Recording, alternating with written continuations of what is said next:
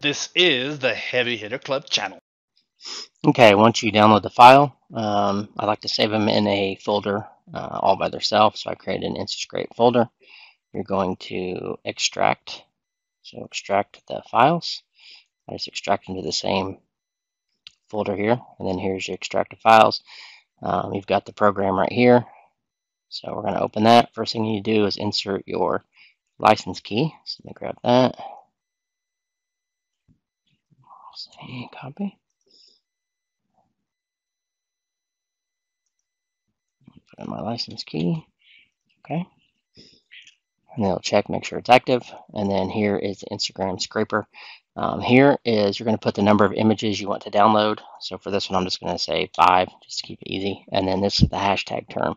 Um, so do not include the actual hashtag. So let's say we're going to do horses, right? So this is going to search hashtag horses.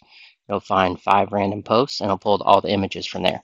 So even though you're saying a download limit of five images, it could be more because if a post has, let's say, three images in it, it's going to scrape all three of those that go with that post.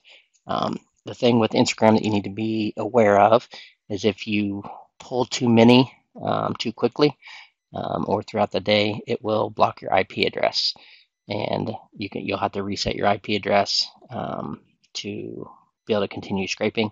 Uh, there may be a time delay too, like sometimes they'll block IP addresses for a certain amount of time, but just be aware of that uh, if you run into that issue.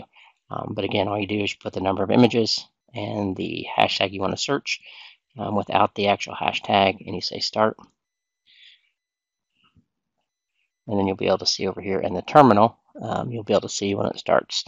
Because um, right now it's collecting, so now it's it's found them. It's pulling from these different locations and storing them into the folder. Okay, so all the images have been scraped and saved to the image folder. So I say OK, and I go back to my folder here. And so here's the image folder.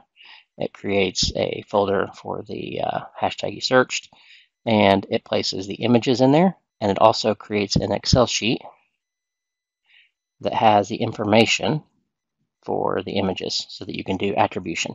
So you've got the image name, uh, you've got the username that it was pulled from, you've got the profile uh, that had the image, you've got the media URL, so it's just the direct uh, URL to the image itself.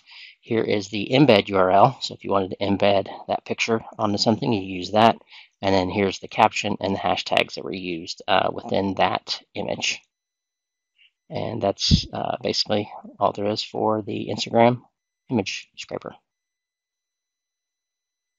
This is the Heavy Hitter Club channel. Don't forget to like, subscribe, and ring that bell.